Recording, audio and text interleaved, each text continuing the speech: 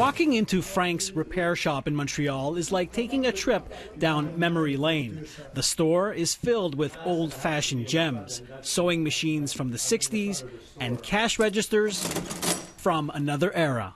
It's not a passion, it's, it's work. Frank Briganti has been a shoemaker for 50 years, and now he's ready to retire. But he's leaving with a heavy heart.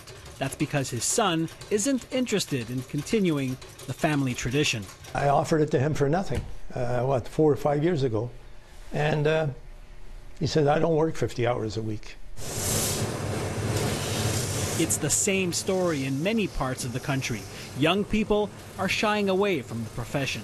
Tout va s'imiter, puis encore plus. But the acute shortage of cobblers in Montreal is good news for 40 year old Abed Abnour. I find myself uh, lucky. At the same time, maybe too much work for one person. Abnour runs a popular shoe repair shop in St. Leonard. Demand for his work is so high, he's opened a second store in Mascouche. But he's desperate for help. I have to refuse some jobs, yeah. I find I have no time for it. I wish there was a school or something, uh, uh, a program that could teach that in the school for young kids. Shoemaking skills are not offered at any of Montreal's trade schools. Abnour hopes that changes soon.